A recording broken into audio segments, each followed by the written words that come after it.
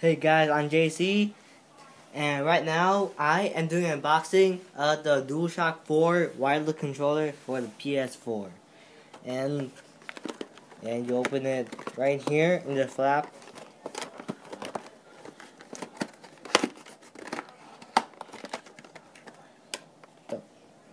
Wait. Oh! Come on.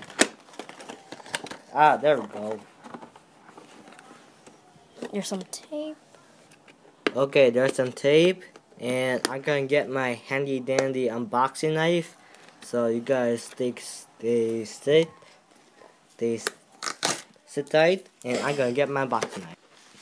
Okay, now I have, now I have cleverly unboxed it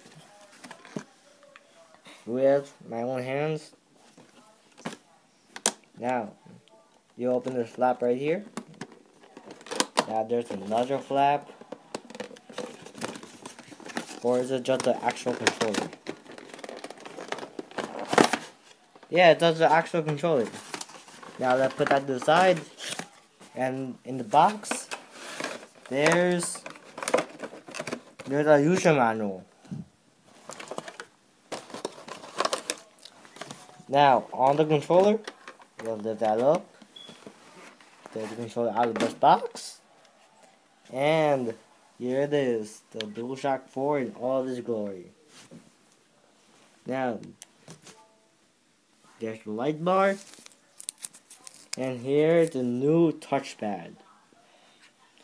Now, the DualShock 4 is an incredible improvement from the DualShock 3, which was incredibly bad. Now I'm gonna do a review of this separately from the from the PS4, so you guys sit tight, and I'm gonna do the review of the DualShock 4 in a few weeks.